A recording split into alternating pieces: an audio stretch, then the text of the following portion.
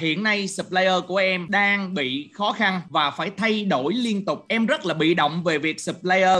Do từ trước tới giờ không biết quản lý họ có công cụ nào giúp em có thể quản lý được supplier một cách hiệu quả không? Thì ờ, cái này thì cái từ công cụ mà để quản lý nó tên là công cụ đó luôn đó. Tức là công cụ về supplier management là quản trị chuỗi cung ứng. Thì ờ, nếu mà các anh chị ờ, muốn quản trị uh, chuỗi cung ứng và quản trị nhà cung cấp á, thì cái chỗ mà supplier thì mình cần phải có một số cái tư duy như thế này. Thứ nhất á, là rất nhiều người hiện nay đang làm với là supplier tại vì mình đang là khách hàng và người ta là nhà cung cấp thì mình khá là trịch thượng với họ.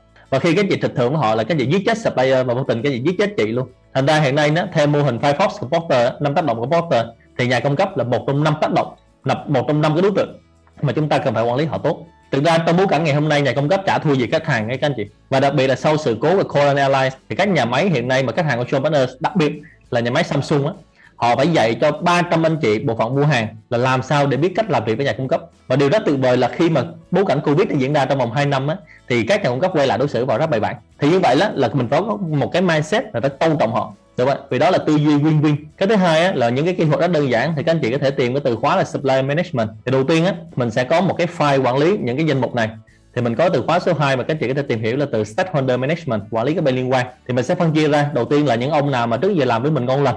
Ông làm tử tế thì mình đưa ông vào danh sách là prefer list danh sách ưu tiên. Những ông nào mà làm vụ bắp mà mình không muốn gặp lại ông nữa thì đưa ông vào danh sách là blacklist. Và những ông nào đang trong quá trình đánh giá thử thách thì mình sẽ phân chia như vậy. Thế là chia sẻ một tí là nếu mà các anh chị làm việc với nhà cung cấp đó, có cả về cảm tính có cả về lý tính thì khi các anh chị khó khăn các anh chị gian nan thì người ta sẽ giúp các anh chị. Còn ngược lại là trước gì chúng ta chỉ nghĩ là chúng ta vui thôi đặc biệt là cái này cũng chia sẻ các anh chị là nếu chúng ta là những cái công ty lớn, chúng ta là các nhà máy lớn, chúng ta hay trịch thượng họ, thì cái này vô tình giết chết các anh chị. Vì đây là mối quan hệ rất là sòng phẳng, đúng không ạ?